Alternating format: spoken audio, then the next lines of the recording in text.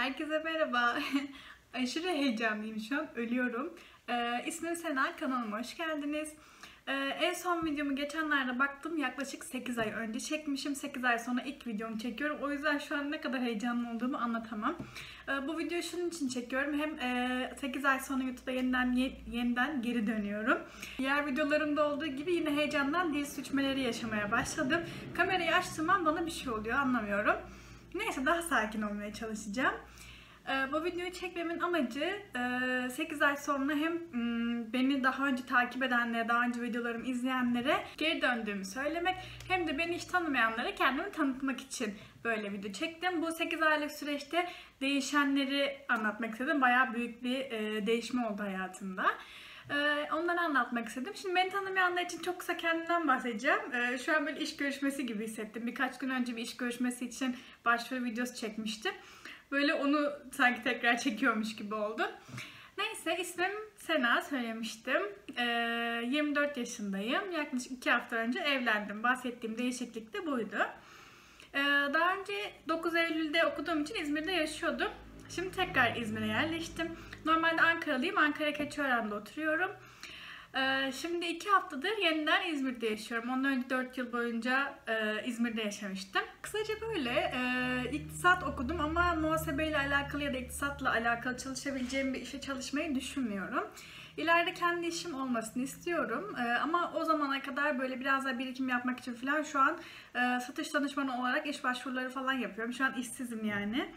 Ee, birkaç gün önce bir yerle görüştüm. Alacaklar mı almayacaklar mı bilmiyorum çünkü çok tecrübemin olduğu bir konu değil. Onun dışında neler oldu? Çok da lazım değil ama yani birkaç gün önce çamaşır makinem bozuldu. Bundan da bahsetmek istiyorum.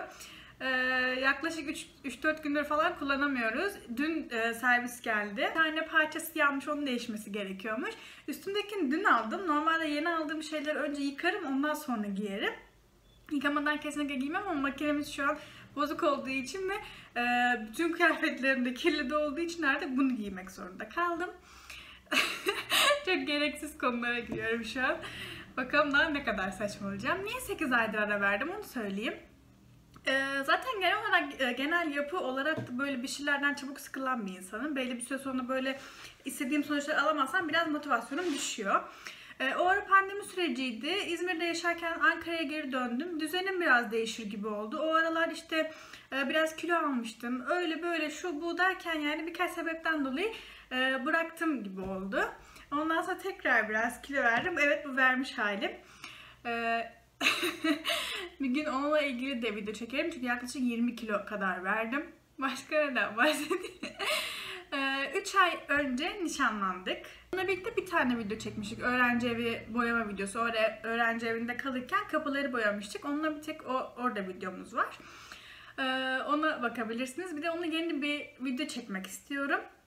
Birlikte böyle yemek yaparken e, şey yapalım diye düşünüyorum. Tanışma hikayemizi anlatalım diye e, düşündüm. Çok böyle büyük bir hikaye değil ama yine de küçük güzel bir hikayemiz var. Onu anlatmak istiyorum. İki hafta önce Ankara'da nikah yaptık. Ankara'daki nikahtan sonra oraya Ankara'da yaşayan akrabalarımız geldi. Daha sonra bir hafta önce de İzmir'de böyle küçük düğünümsü bir şey yaptık ama çok güzel böyle deniz kenarındaydık. Daha videonun sonuna da e, böyle birkaç tane küçük nişandan ve birkaç tane de böyle düğünden böyle küçük küçük videolar koymayı düşünüyorum. Videonun sonunda görebilirsiniz. Kurduğum ve battığım işlerden bahsedeyim bari biraz. 8 ay önceki son videom zaten bununla alakalıydı. Ee, takı satmaya karar verdim. Bu da zaten istediğim bir şeydi. Hani kendi işimi kurayım diyorum ya. ku- kurmak istediğim işlerden biri buydu. Ya bir mağaza açayım ya da böyle bir takı dükkanı açayım diye düşünmüştüm. Sonra dedim ki ben bunu önce online olarak başlatayım ondan sonra devam ederim diye düşündüm. Ee, hatta onun videosunda her şeyi detaylı bir şekilde anlattım. İşte Instagram hesabını kurdum, e, toptan takıları aldım, işte işbirlikleri yaptım bilmem ne falan. Yaklaşık bir 500 takipçiye falan ulaştım. Daha sonra böyle çok e, az satışlarım oluyordu ama bu çok normal bir şey zaten. Yeni açtığınız bir hesap zaten internet hesabınızın büyümesi zaman alıyor. O yüzden satışlarım çok azdı falan. O ara yine genel kişilik özelliğimden kaynaklanan bir sebeple e, başaramayı, başaramayınca e, vazgeçtim. Biraz soğudum gibi oldu. O işi bıraktım. Ondan önce de mum işine girmiştim. ben sürekli bir işe girip girip batıyorum. Ee, mumda da şöyle oldu. İşte kalıplarını aldım. Eriteceğim malzemeyi aldım. Renkleri aldım falan. Çok güzel ürettim. Ama yapım aşaması gerçekten çok zordu. Hani beni bayağı uğraştırıyordu. Burada bir de şöyle bir şey var. Şimdi mutfakta e, yaptığınız için ekstra çok zorluyor. Böyle bir şey yapıyorsanız e, ayrı bir atölyeniz olacak ya da ayrı bir alanınız olacak. E, annem giriyor mutfağa. Yemek yapacağım diyor. Mutfağı temizleyeceğim diyor. Ben mum yapacağım diyorum. Karışıklık oluyor. Bir de şöyle bir şey var. O mumların tozları e, dokunduğu, hani değdiği yerlerde kalıyor. O yüzden yerlere sürekli bir şey seriyorum. Mermere bazen değiyor. İşimi gücümü bırakıyorum. Elime hemen annem kızacak diye çamaşır suyunu alıyorum. Oraları siliyorum falan. Ya benim için biraz da işkenceye dönüştü. Onu bıraktım. Oradan takıya atladım. Sonra takıyı da bıraktım. Dedim ki benim zaten bir mesleğim vardı. ben bir YouTuber'dım. Neden buna devam etmiyorum? Bir de şimdi eve geldik artık. Yerleştik. Ee, bir düzenimizi oturttuk. Artık evde yeni evimizdeyiz. Ee, bundan dolayı da artık devam edebilirim diye düşündüm. Bir şey söyleyeceğim gerçekten ee, şu an sürekli gülmemden de fark etmişsinizdir. Ger gerçi normalde de zaten güleç bir insanım ama ee, aşırı özlediğimi fark ettim. Aşkım acaba size söylemediğim bir şey var mı? 44 bedenim bunu eklemek istiyorum. evet en önemli şeyi unuttum. Normalde videonun başında söyleyeceğim bir şeydi. O yüzden kesin kaynadı gitti ve hiçbir işe yaramayacak biliyorum ama yeni bir Instagram hesabı açtım. Yani daha önce e, sadece ailemi ailemle takipleştiğimiz bir Instagram hesabım vardı. E, şimdi daha kişisel hani e, iş olarak gördüğüm bir Instagram hesabı açtım. Ee, orada Reels videolar çekiyorum. Hmm, takipçimi büyütmeye çalışıyorum. Orada da bir şeyler yapmaya çalışıyorum. O yüzden ee, eğer videonun burasına kadar izleyip bu söylediklerimi duyduysanız çok rica ediyorum. Instagram hesabımı takip ederseniz çok sevinirim. İsmim Sena ile ben Doglu. En sondaki U iki tane Diğeriyle karıştırmayın zaten açık bir hesap. Oradan anlarsınız. Takip ederseniz çok sevinirim. Şu an 309 tane takipçim var. Bir de böyle düşmeler oluyor sürekli. Mesela 312 idi, 309'a düştü. Üzülüyorum ben böyle şeyler olduğu zaman. Saçlarım koyu fark etmişsinizdir. Çok uzun zamandır hani son videolarımda hep e, mavi saç boyama, lila, lila mor saç boyama, kızıl saç boyama falan sürekli bir saçlarla uğraşıyordum. Ee, arka yani benim yaptığım şeyi ben kuaförde yaptırmış olsam bunu kesinlikle iddia ediyorum. Benim saçım yakmıştı. Kesinlikle yanmıştı. Ama e, benim saçlarımın iyiliği midir yoksa bilmiyorum nedendir.